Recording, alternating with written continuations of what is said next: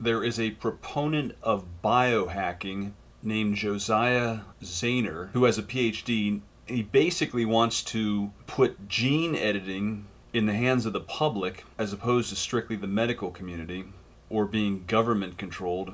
So basically, in the near future, anyone would be able to use genome editing technology such as CRISPR, C R I S P R, which stands for clustered regularly interspaced short palindromic repeats. And the main thing to know about that is that it's simply genome editing technology. And a genome is an organism's complete set of DNA, and that includes all the genes. So Josiah Zayner is trying to promote this consumer level gene editing.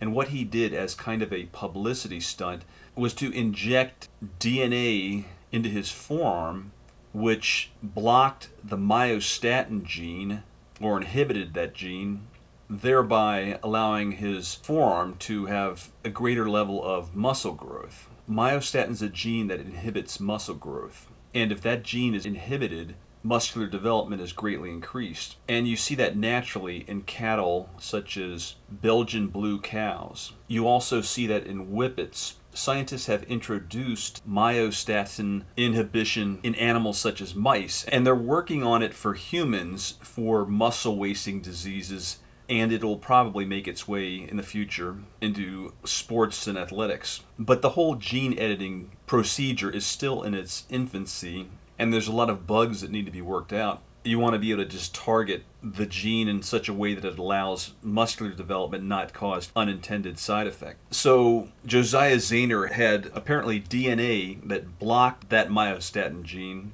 in a syringe and he injected it into his own arm. It was more along the lines of a publicity stunt because even with mice in the legitimate experiment, it was multiple injections over a period of time weeks, months before any results were seen. So him simply injecting his arm with DNA that blocked the myostatin gene wouldn't all of a sudden make his arm look like Popeye.